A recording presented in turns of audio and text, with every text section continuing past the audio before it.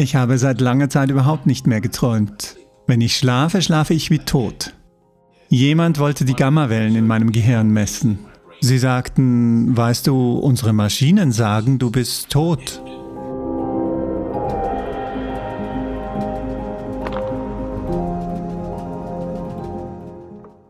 Ich möchte gerne eine Frage zum Thema Bewusstheit stellen. Zum Beispiel, wenn ich schlafe, bin ich mir dessen nicht bewusst. Oder wenn ich träume, bin ich mir nicht bewusst, dass ich träume und denke, es ist echt. Deshalb wollte ich fragen, was passiert mit dir, wenn du schläfst? Oh, mir? Wer hat dir gesagt, dass ich schlafe? Ich weiß es nicht. Ich dachte, jeder Mensch muss schlafen. Was können wir da tun, damit ich bewusster bin, wenn ich schlafe?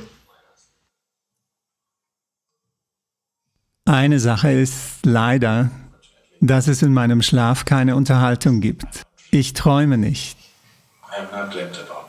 Ich habe schon lange nicht mehr geträumt.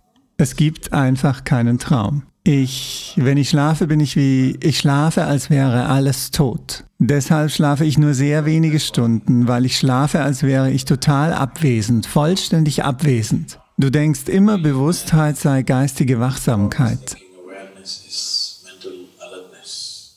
Geistige Wachsamkeit ist etwas anderes. Bewusstheit ist etwas anderes. Wenn du geistige Wachsamkeit als Bewusstheit bezeichnest, dann ist ein Hund viel bewusster als du.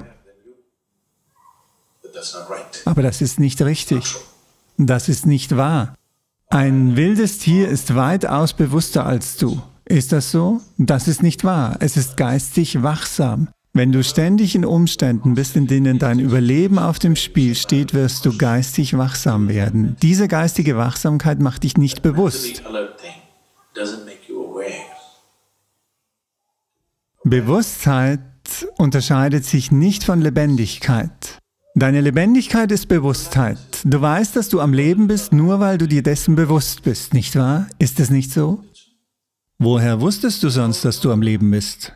Woher weißt du, dass du existierst? Weil du dir dessen bewusst bist.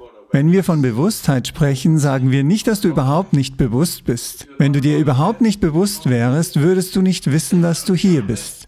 Du bist bewusst. Es ist nur so, dass du dir nicht über das ganze Ausmaß bewusst bist, was das ist. Du bist dir nur eines Teils dessen bewusst, was das ist. Wenn wir dies also einen Mechanismus betrachten, dies ist eine Art Mechanismus, ein unglaublicher Mechanismus, aber es ist immer noch ein Mechanismus. Nur einige Teile bist du dir bewusst. Du bist dir nicht des ganzen Mechanismus bewusst und der Möglichkeiten, die er bietet. In diesem Zusammenhang sprechen wir von Bewusstheit. Verwechsle nicht geistige Wachsamkeit und Bewusstheit. Denn geistige Wachsamkeit kann ein- und ausgeschaltet werden. Bewusstheit kann nicht ein- und ausgeschaltet werden. Sie ist einfach da. Das Leben ist Bewusstheit. Bitte schau, es kann nicht anders sein. Was du als Leben bezeichnest, ist ein bestimmter Bewusstheitsgrad, nicht wahr? So, are you aware? Yes, I'm alive. Bist du also bewusst? Ja, ich bin am Leben. Bin ich geistig wachsam? Überhaupt nicht. Es,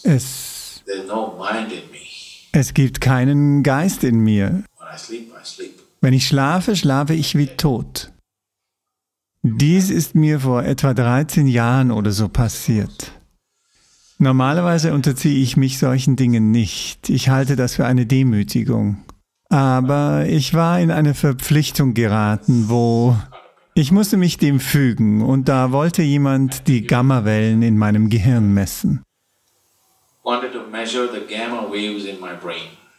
Und sie sagten, wir wollen messen.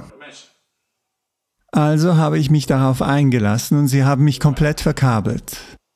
Wenn ich gewusst hätte, wie viele Kabel, hätte ich noch im letzten Moment Nein gesagt. Aber eins nach dem anderen, eins nach dem anderen haben sie sie alle angebracht.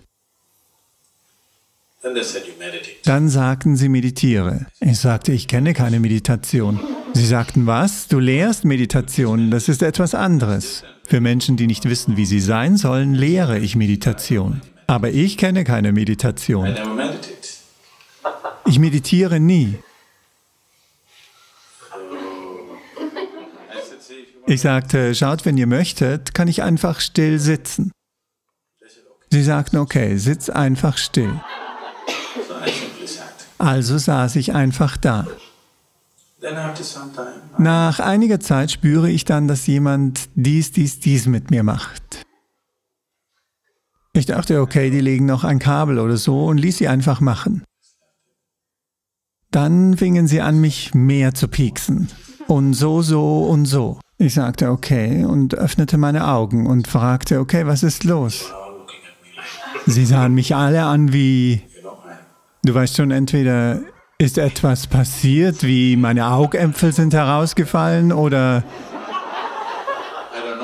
ich weiß nicht, ich sah aus wie ein Alien oder so. Ich fragte, warum, was ist passiert? Ist alles in Ordnung? Ich habe meine Erscheinung nicht verändert oder ähnliches. Sie sagten, weißt du, unsere Maschinen sagen, du bist tot. Zumindest könntest du hirntot sein, denn alle Linien sind völlig flach. Ich sagte, das ist eine tolle Diagnose, die ihr habt. Also, dass das Gehirn am Leben ist, dafür kann ich mich nicht verbürgen. Aber ich bin am Leben, das könnt ihr sehen. Der Rest ist eure Angelegenheit.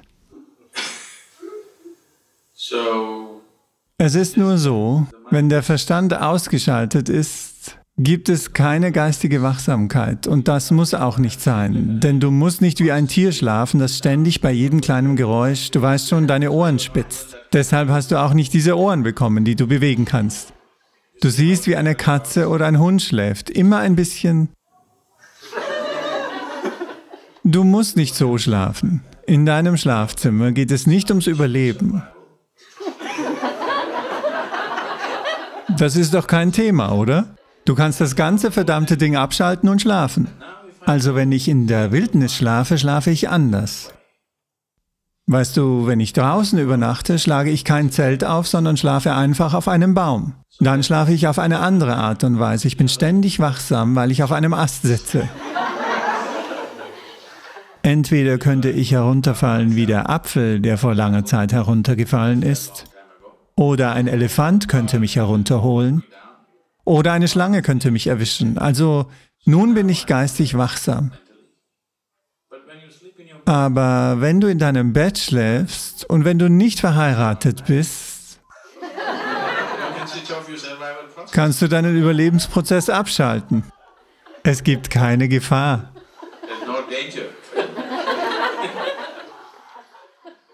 Geistige Wachsamkeit ist also notwendig für das Überleben. Es ist nicht Bewusstheit. Bewusstheit ist sowieso vorhanden. Dagegen kann man nichts tun.